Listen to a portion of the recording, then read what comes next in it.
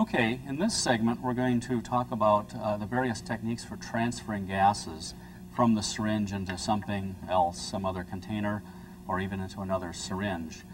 This is a very important technique that's used a lot in our experiments. And uh, to demonstrate that, let's do an experiment with this carbon dioxide. By the way, I don't know if you've ever noticed how much gases all look alike, so it's probably a good idea to label the syringes with the contents of the gas.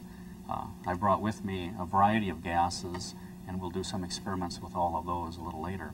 Um, anyway, I use a marker pen that cleans off with alcohol.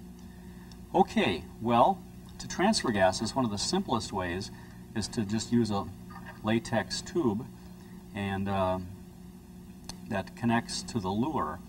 And all I have to do is take off the Luer cap, latex cap, and slip on the latex tubing. And now I'm ready to, uh, to transfer the gases.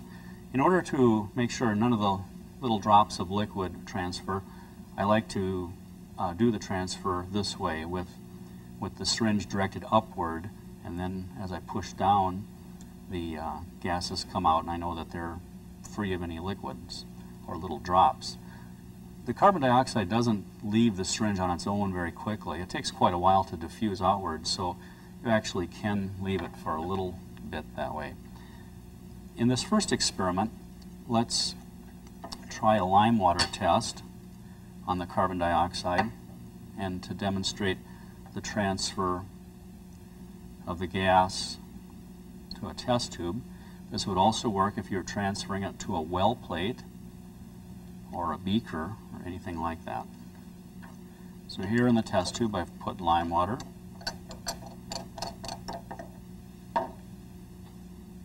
And the latex tube can go below the surface, doesn't have to. Carbon dioxide is slightly heavier than air. So just transferring some gas. It only takes a few milliliters to confirm that in fact we did make carbon dioxide. Okay, so transferring to a test tube. The next technique I'd like to demonstrate, I'll just set this aside, is a syringe to syringe transfer. And for that, I have prepared some um, nitric oxide before uh, I came here today. And NO is a, a, colorless gas that's, that has very low water solubility. So I washed the gas, and then this is the gas as it's produced, or as it now appears. Before I turn this into NO2, uh, which is very water soluble, I need to transfer this NO to a syringe that doesn't, that's dry. So I want to do a syringe to syringe transfer. For that, I'll use a much shorter piece of latex tubing because uh, we want to minimize the amount of air that comes in contact with the two gases. So in a syringe to syringe transfer, we put the latex tubing on one syringe, then connect it to the other syringe.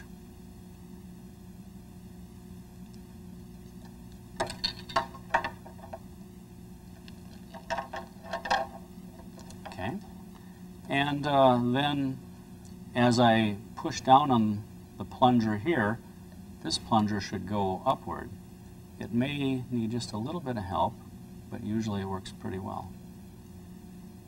Syringe to syringe transfer. Tip that cap over.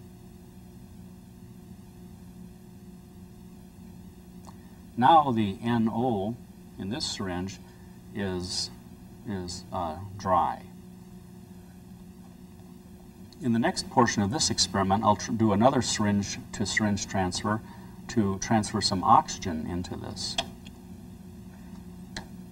Set that aside.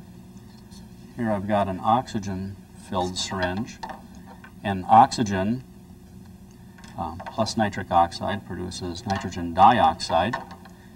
The stoichiometry requires us to use one milliliter of oxygen for every two milliliters of NO. So I've got about 23 milliliters of gas. So I'll transfer in about 11 and a half or so. You can see the reaction taking place produces nitrogen dioxide.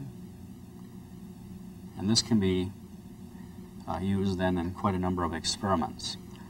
I'm going to remove the little latex tubing and cap it. Now the gas can be stored for until used in class or whatever, and it can be used for quite a number of experiments. So syringe to syringe transfer. Um,